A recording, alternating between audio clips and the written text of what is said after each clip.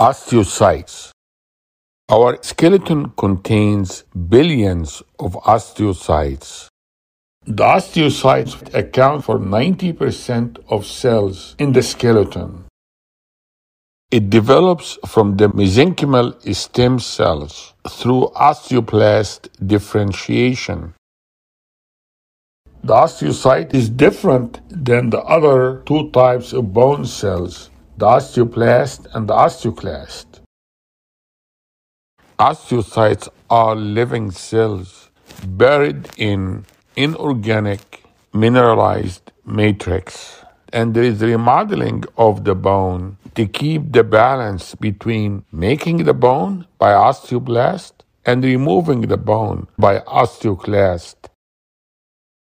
What are the factors affecting remodeling it can be circulatory, it can be metabolic, and it can be mechanical. Mechanical is a very important factor. The osteocytes maintain mature bone and cellular matrix, and it is important in regulating calcium and phosphate concentration in the bone. The osteoblast produces osteoid and deposit the osteoid around itself, and that's composed predominantly of type 1 collagen.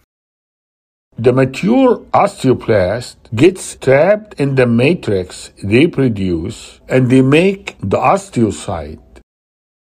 It's less metabolically active than the osteoblast, then it has a higher nucleus to cytoplasm ratio. The osteocytes are buried in bone in its lacuna. It has a large nucleus with less cytoplasm and filamentous cellular processes called dendrites, each dendrite entering a channel called canaliculus.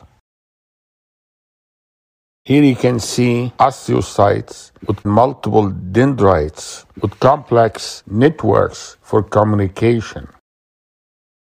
The osteocyte communicate with adjacent osteocytes through gap junctions in the canaliculi.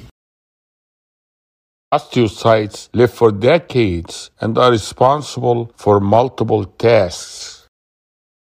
It is a mechanosensor cell that coordinates mechanical adaptive responses.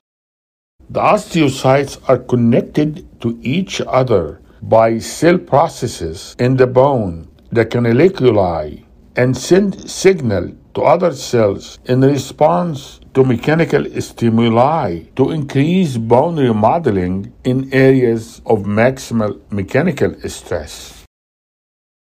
It is a regulator of bone remodeling by controlling the osteoblast and the osteoclast. The osteocyte is stimulated by calcitonin and inhibited by the PTH, but osteoblast is stimulated by the PTH. Thank you very much. I hope that was helpful.